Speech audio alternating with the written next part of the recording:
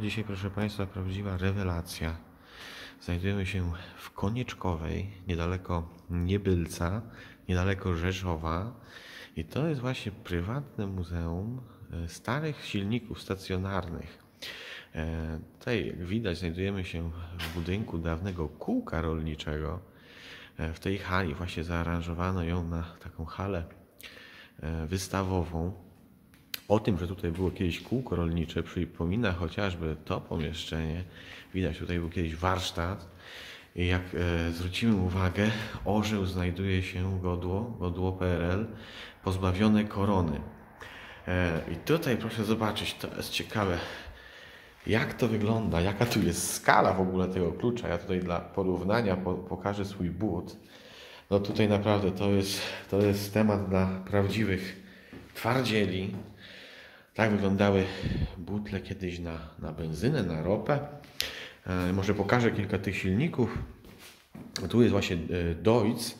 Jak wynika z tabliczki tutaj, e, po prostu on pochodzi z 1897 roku i został przetransportowany na Ukrainę. Dopiero później trafił do Polski. E, No i co? I przede wszystkim tutaj znajdują się silniki mm, z początku XX wieku, tam lata 20, 30.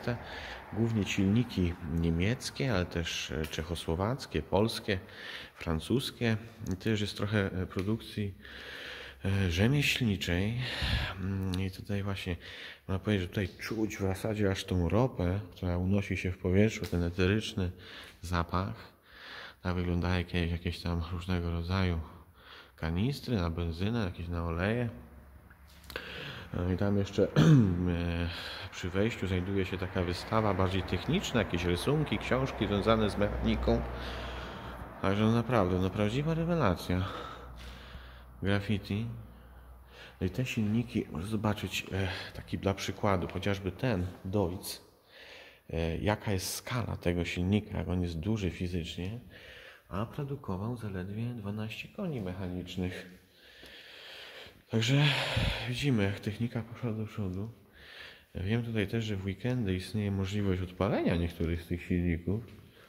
No także to już by była naprawdę prawdziwa rewelacja. To nigdy nie zastąpi tego dźwięku, tych spalin. I to jest też ciekawa maszyna. Niemiecka. I to jest właśnie przykład silnika okrętowego. Prawdziwy to koło zamachowe. Także tak pokrótce pokażę. No i zapraszam do Konieczkowej. Niedaleko Niebylca. Coś dla prawdziwych pasjonatów.